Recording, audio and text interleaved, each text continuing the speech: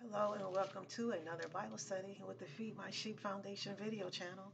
We are doing a revelation today on this video. It is October the 28th, 2024, and this will be a uh, Captain's Voice revelation in reference to other videos that we've done with the subject, Who do you serve? Okay, this is part four of that. Who do you serve?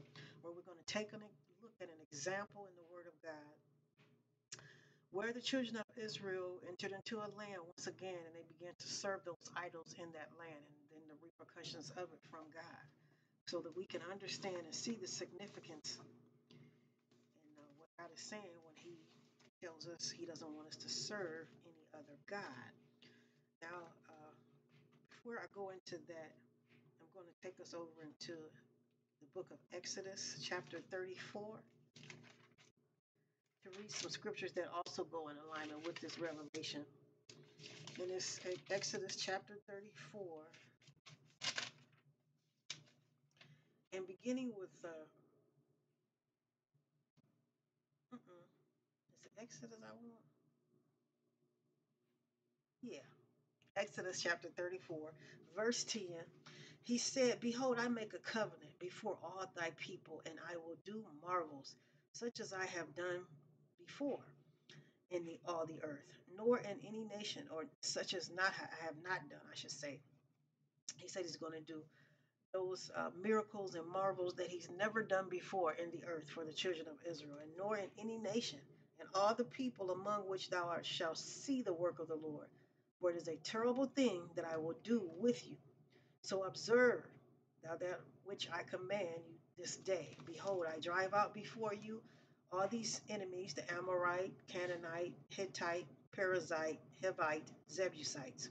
Take heed to thyself, lest thou make a covenant with the inhabitants of the land where thou goest, lest it be for a snare in the midst of you. Okay, and again, always noting that those idol gods are for a snare to place an individual once they've been converted into the kingdom, they begin to worship and to serve any other deity or any other uh, presence, force that they would consider to be a god, sort of uh, in representation to God and what God provides, and Him being also our creator.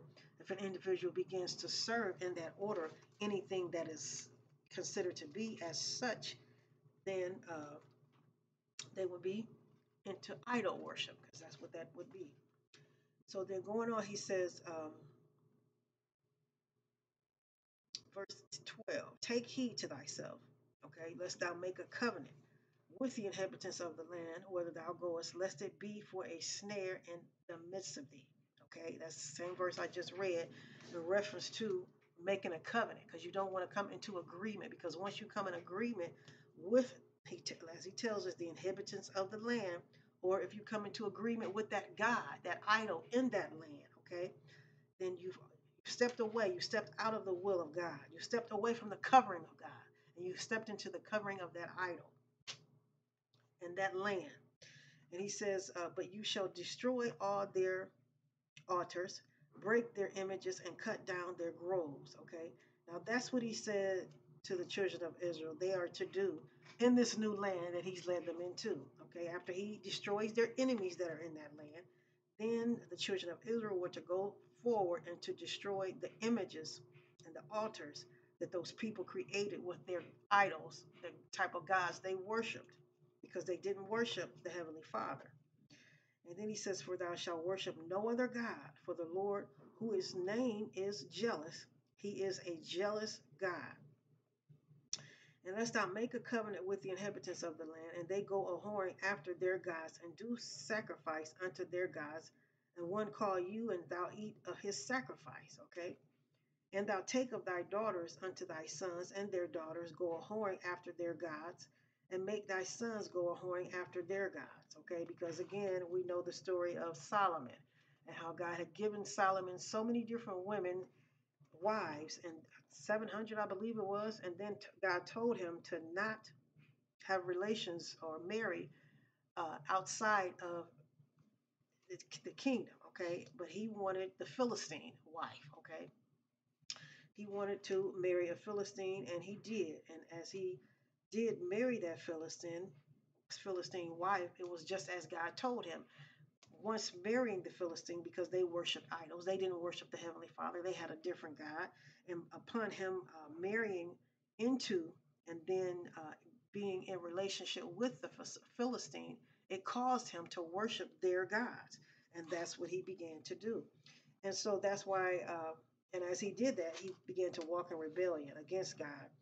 And uh, that was a time and a period in Solomon's life where, you know, I don't think he would be, because of that action, he would be considered something else because at that moment in time, God had told him not to have relationship with the Philistine women and why he was not to do that because it would they worshiped other gods and in him having a relationship with them would then persuade him into wanting to worship their God and that's what happened to him.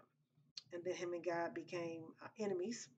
God pulled a part of the kingdom away from him and uh, it was just a whole turnaround the whole uh, by him doing that it rerouted the kingdom Okay, so um, verse 17, he says, And thou shalt make to you no gods, okay, no molten gods. And the feast of unleavened bread shalt thou keep. Seven days shalt thou eat leavened bread, as I commanded you in the time of the month Abib. For in the month Abib thou camest out from Egypt. And all that opens thy matrix is mine. And every firstling among the cattle, whether ox or sheep, that is male.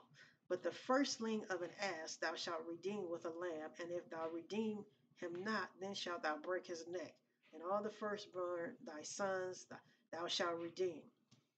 And I'm not going to read no more further on there because the only thing we want to uh, pay close attention to was that, of course, what God said in reference to them not uh, worshiping any other God. So now we can go over to uh, the book of Judges, where our actual revelation reading is coming from. Judges chapter 2. As again, we take a look at another example of the children of Israel beginning to worship idols and then God's reaction to that. And it begins with um, chapter 2, verse 1 The angel of the Lord came up from Gilgal to Bochim and said, I made you go up out of Egypt and have brought you into the land which I swore unto your fathers. And I said, I will never break my covenant with you. And you shall make no league with the inhabitants of the lands, and you shall throw down their altars, but you have not obeyed my voice. Why have you done this? Okay. And again, that's what we read in Exodus. Once they get into the land, once the Heavenly Father removes their enemies in the land, they are to go forth and break down their enemies' altars because those enemies do not and did not serve God Almighty.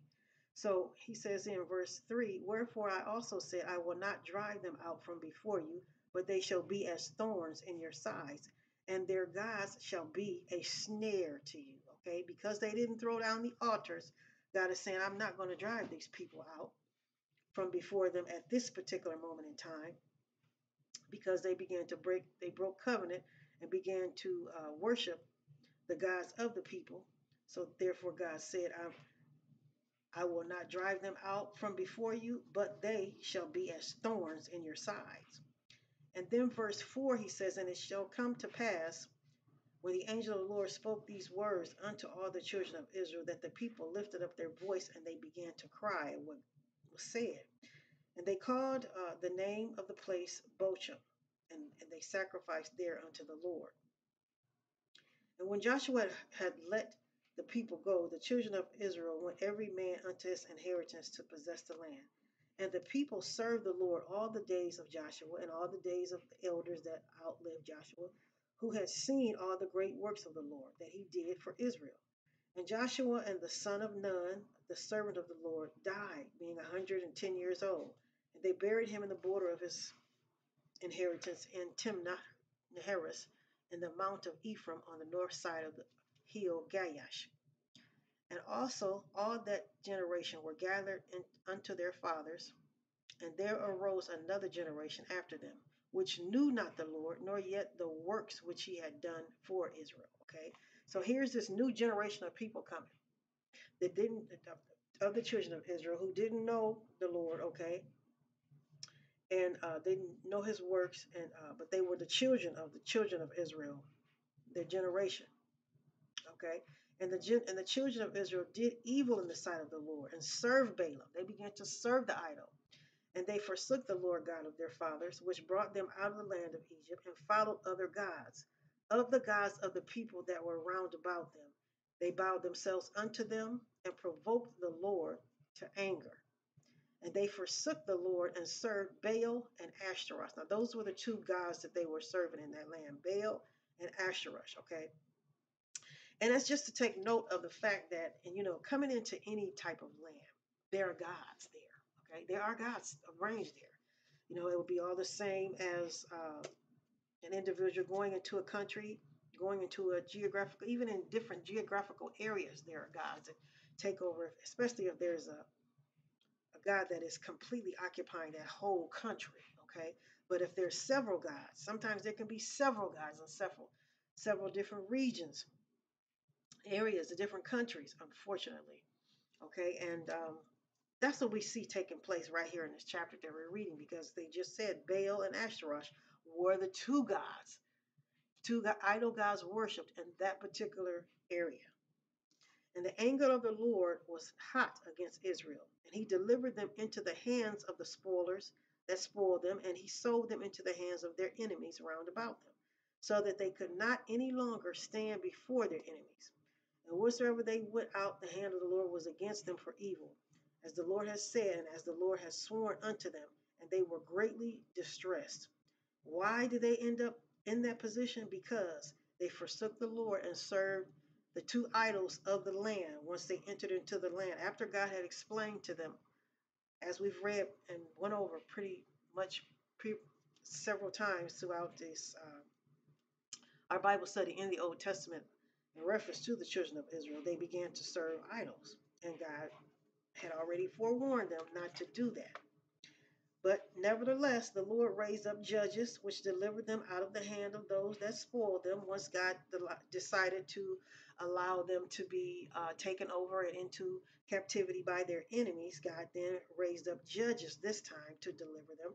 And he yet they would not hearken unto their judges, but they went a whoring after other gods, bowed themselves unto them. They turned quickly out of the way which their fathers walked in, obeying the commandments of the Lord, but they did not so. Okay. Again, they still ignored the judges that God sent to deliver them, okay, to be a representation of them at that time and pull them out from under their enemies and to hopefully uh, help them to get back into alignment with God and not worshiping the idol gods that they were worshiping that caused them to be placed into captivity.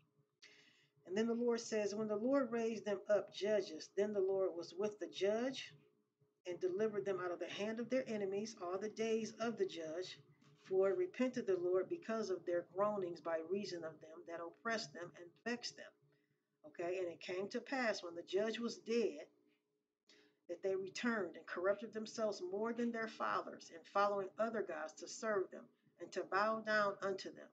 And they ceased not for their doings, nor from their uh, stubborn ways. They continued, it says, they continued on even after the judges, God released judges, and he was with the judges to deliver them out of the enemy's hands that God had placed them into the enemy's hands for because they were uh, rebellious toward him.